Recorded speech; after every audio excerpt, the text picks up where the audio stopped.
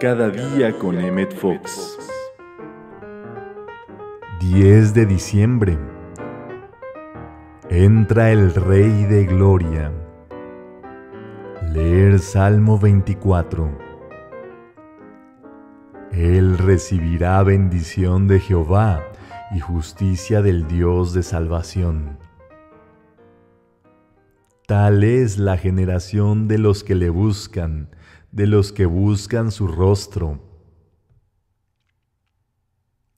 A muchas personas les puede parecer que la purificación del corazón es una tarea larga y tediosa, pero tenemos que recordar que cuando oramos es Dios quien trabaja y no nosotros.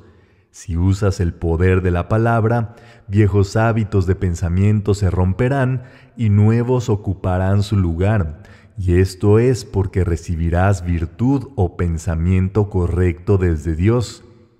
Tú has visto su rostro y debes comenzar a expresar algo de su naturaleza, porque siempre nos convertimos en lo que contemplamos. Alzad, oh puertas, vuestras cabezas, y alzaos vosotras, puertas eternas, y entrará el Rey de Gloria.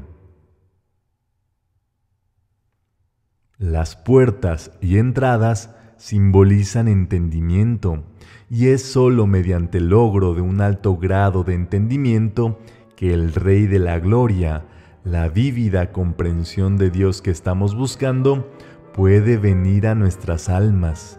Se nos dice entonces que nos preguntemos quién es el Rey de la Gloria y qué representa.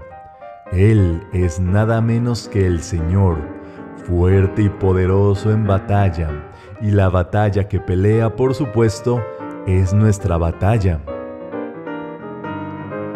Jehová de los ejércitos es el Rey de la Gloria.